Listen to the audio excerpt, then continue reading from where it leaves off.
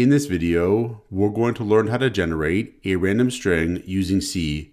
We'll go over two techniques to solve this problem. In the first technique, we'll start off with a string of possible characters to include in our randomly generated string. Then we'll build our string by continually selecting a character from this string at random. So the first thing we'll do is include the string.h library because this library includes a function called strlen, which is going to help us by finding the length of a string. And we'll also include the stdlib.h library because this library includes a function called rand, which is going to help us to build our random strings. This library also includes the malloc and free functions, which we'll use to dynamically allocate and free the memory where our strings are going to be stored. And we'll also include the time.h library because this library includes a function called time, which we're going to use to seed the random number generator. So we're going to use that rand function in stdlib.h to produce our random strings. Each time we call the rand function, it's going to return a random non-negative integer but the rand function uses what's called pseudo random number generation. What that means is we need to seed the random number generator with a number that's different each time our program runs in order to ensure the rand function can give us a different sequence of random numbers each time our program runs. Now, if we call the time function and pass it null, it's going to return the current time, and the current time is going to be different each time our program runs. So we can use this as our seed value. We'll pass the seed value to the srand function to set the seed value, where the srand function is coming from the stdlib.h library. Then we'll declare a function called random string1 to randomly generate a string using our first technique. The function is going to return a pointer to that string, so we'll have char pointer for the return type. The first parameter is going to be int size which is going to be the size of the string, including the null terminator. Then we'll have char star possible, where this is going to be the string containing the possible characters to include in the randomly generated string. So when we call this function, the idea is we'll have a string of the possible characters to include. So maybe this string could be uppercase A, B, C, and D. And we can store this into a char array called possible with char possible is equal to this string. Then when we call random string one, we could pass it, let's say 20 and then possible. And the idea is the function is going to generate a string, which is going to be 19 characters in length, and then one more character for the null terminator. And the string will consist of characters that have been randomly selected from the string possible the function is going to return a pointer to the string, which we could store into the char pointer variable, let's say new string. Then we could output this new string with printf, and we'll have new string colon, and then percent %s to output the string, followed by a new line with backslash n, and then we'll output the new string. Next, we can define the function. So we'll copy this, and then paste it down here. And the first thing we'll do is check if the size is less than or equal to zero. Because we can't have a size that's less than or equal to zero. We need to have at least one character for the null terminator. So if this is the case, we're going to return null because we can't generate any string at all in this case. Now possible is supposed to be a pointer to a string like this containing the possible characters to include in our string. If possible is somehow null, we can't do anything. So if possible is equal to null, in that case, we're going to return null because again, we can't do anything. And there does need to be at least one possible character. So we'll also check for that. We'll first find the length of the string possible using the string length function strlen. So we'll have here strlen and we'll pass it possible. So this function is going to return the length of the string possible, not including the null terminator, and we'll store that into a variable called possible length using int possible length is equal to the return value. Now the possible length does need to be at least one. So we'll have here, if possible length is equal to zero, then again, we're going to return null because again, we can't do anything in this case. Then we'll allocate space for our new string on the heap using malloc. So we'll call malloc and we'll pass it size as an argument, and malloc is going to allocate space on the heap for size number of bytes, and a char in C is going to take up one byte in memory. We'll store the pointer returned by malloc into a char pointer variable called string. So string is going to be a pointer to that new block of memory on the heap where we're going to store our string. Now, because size includes the null terminator, the actual length of our string is going to be one less than size.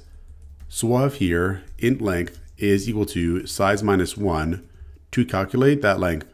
Now to set each index of our string to a character randomly selected from the possible string, we'll create a loop with a counter variable i, which we're going to use to go through each index of our string with each loop iteration. So i is going to begin at zero, we'll have i go up to, but not including length, by 1 with each loop iteration. So if, for example, our string has a size of 5, that would mean our string has indexes 0, 1, 2, 3, and 4. And we're going to store the null terminator at this last index here to end the string, where this last index here will always be equal to length because length is size minus 1. And then at each of these indexes here, we want to store a character that is randomly selected from the string possible. So in this loop, we have the counter variable i begin at zero and go up by one with each loop iteration until i reaches length. Then we stop the loop. So when the loop is done, we'll actually assign at the index length the null terminator to end the string then in the loop body here, we'll have string at the index i is equal to a character from the string possible. And what we'll do is randomly determine the index of the string possible that we assign to our string at the index i. So here we'll use the rand function. The rand function is going to return a random integer in the range of 0 to some very large positive integer but we want this index to be in the range of characters of the string possible, where the range of characters in the string possible is going to be from zero up until, but not including, possible length. So for example, let's say that here we now have the string possible. And let's say that possible contains the characters A, B, C, D. In this case here, the string possible has a length of four and we want to set each index of our string to one of these characters here from the string possible between the indexes 0 and 3, where 3 is really going to be possible length minus 1 in the general case. What we could do to get this integer to be in that range of 0 to possible length minus 1 is divide it by possible length. So for example, if we take this integer here and divide it by 4, the only possible remainders are 0, 1, 2, and 3. And this is exactly the range of indexes that we want. So the modulus operator in C, percent, is going to give us the remainder of a division operation. So here, if we have modulus possible length, this will give us the range of indexes from 0 to possible length minus 1 at random. Now the last thing we'll do is return the pointer to our string. So we'll have here return string to do that. Then up here, we'll free the dynamically allocated memory with free and new string. So we'll have free and new string to free that memory. And then if we save compile and run the program, we'll get the string here made up of 19 characters randomly selected from the string possible. Now, one thing we could do to improve our program is use the type size underscore t instead of int. Most viewers are probably more familiar with the type int.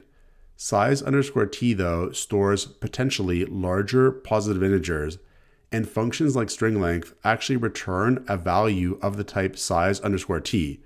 So by using the type size underscore t, we could account for potentially larger strings. Let's do that. Instead of int here, we'll have size underscore t for the size. And then down here in the function definition, we're going to replace all the occurrences of int with size underscore t. So here we'll have size underscore t, and then the same here and here, and the same for our counter as well. And because size underscore t values can't be negative, they're going to be between zero and some very large positive integer. What we'll also do is just check if the size is equal to zero because it can't be less than zero. So if we save compile and run the program, it'll work the same way. But now we can handle larger strings. Now there's a second technique we could use. This technique is going to involve randomly selecting characters from a range of ASCII characters. We'll call this function random string 2. And this function is also going to return a pointer to a character. So we'll have char pointer for the return type. And the function will accept as an argument the size of the string to randomly generate, including the null terminator. So we'll have a parameter size underscore t called size. Then we'll copy this and implement the function down here. And the first thing we'll do is check to see if size is equal to zero, because if it is, we can't really do anything. So in that case, we're going to return null. Then we'll dynamically allocate space for a string of this size. So we'll have char star string is equal to malloc size again. And again, we'll calculate the length of the string. So we'll have size underscore t length is equal to, and we'll have size minus one because length is going to be one less than size because size includes the null terminator now, as before, we'll use a loop with a counter variable i to go through each index of our string from 0 up until length minus 1. So we'll have for size underscore ti is equal to 0, i is less than length, and then i plus plus. And with each loop iteration, we're going to set the string at the index i to a character that's randomly selected from a range of ASCII characters then when we're done, we're going to set the string at the index length to the null terminator to terminate the string. And as before, we're going to return string here. Now, the different part here is where we're going to be setting the random character. In C, char values are really integers. So here if I had string at the index i is equal to 65, this would actually set the string at the index i to the character uppercase A because the character uppercase A is represented with the integer 65. We can look at this ASCII table here to see what characters are represented with what integers. So for example, the exclamation mark is represented with the integer 33. And we can see uppercase A is represented with the integer 65, and so on. All the way down here to, let's say, 126, which is the tilde character. So what we could do is generate a random integer in the range of, let's say, 33 to 126, which was the integer for that tilde character, and we could assign that integer to the string at the index i. So to do this, what we could do is add to 33 a random integer in the range of 0 to 93, because this would give us integers in the range of 33 to 126.